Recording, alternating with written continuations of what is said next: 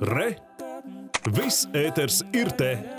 Šajā laikā tāds būtisks jautājums. Vai tiešām suns elpa aizrāvis un ar sajūsmas pilnām acīm skatās svētku uguņošanu? Šādi jautājumi uzdod dzīvnieku patversmi pārstāvji. Jā, nu es zinu atbildi, neskatās. Bet uh, viņiem katrs jaunais gads iesākas ar dzīvnieku pieplūdumu šajā patversmē, kuri no saviem saimniekiem aizmukuši panikā no petāržu izraisītajiem trokšņiem. Un kolēģis Ulds Bieziņš pastāstīs, kā parūpēties par savu mīluļu drošību tieši svētku laikā. Dzīvnieku patvērsmes ar bažām gaida gadu mīs nakti, kad visās malās iedzīvotāji svinot jaunā gada iestāšanos šauj petardes tādā veidā radot paniku daudzos dzīvniekos.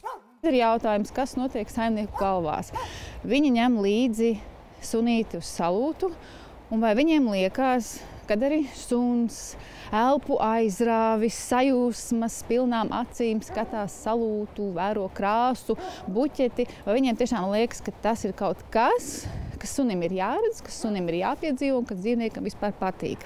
Uguņošanas izraisītais troksnis dzīvniekos var radīt milzīgu stresu. Šādos brīžos viņu uzvedība ir neprognozējama.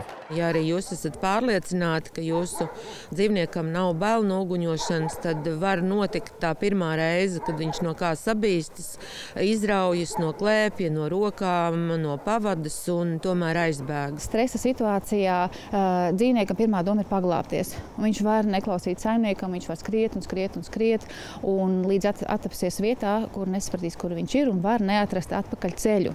Pa dienas vidu ar sunu vajadzētu kārtīgi izstaigāties, lai dzīvnieks nebūtu jāved ārā vēlās vakarstundās, kad visās malās tiek šautas pētārdes.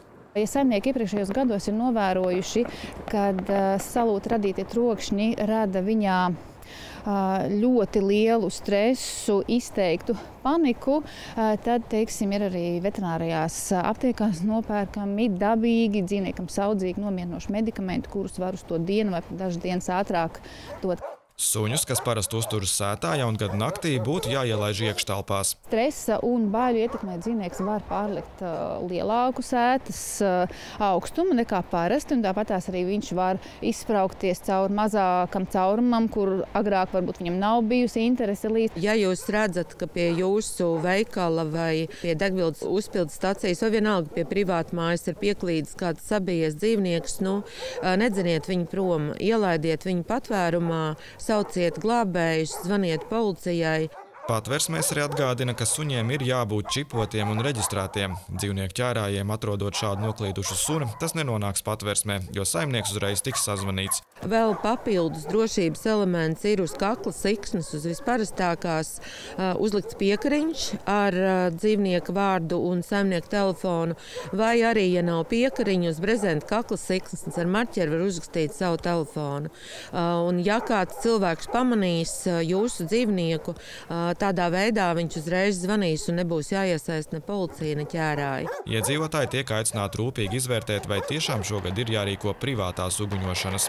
Ne tikai daudziem dzīvniekiem ir ļoti panisks bailes no uguņošanas, bet šobrīd jau arī ļoti daudziem līdzcilvēkiem, kas pie mums ir atraduši patvērumu, jebkurš blīkšķis, jebkuru raķešu šāvieni visticamāk nerada prieku, bet atgādina par šausmām. Vēlot laimīgu jauno gadu jums un jūsu mīļajiem, Ulds Birziņš, Normons Čirkste, Latvijas Tele.